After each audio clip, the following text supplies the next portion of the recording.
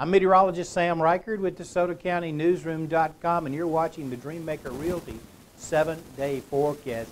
I think we have a 100% chance of rain, mainly this afternoon and overnight tonight. Scattered showers certainly possible this morning, but the main impulse of that uh, rainy scenario with Tropical Depression Harvey moves into the area later this afternoon and overnight. Some rain could be heavy at times. We have a flash flood watch in effect. We have a wind advisory in effect also. Winds will be from the northeast, 15 to 25 miles an hour today, and gusting higher than that to 35 or so. High today 76, 100% chance of rain mainly this afternoon and overnight up until about midnight. That's when the heaviest rain will fall. Low tonight 71. When you wake up tomorrow morning, still a 30% chance of showers in the area till the middle of the morning. High 79, low 65, and then beautiful weekend in store Saturday, Sunday, and Monday.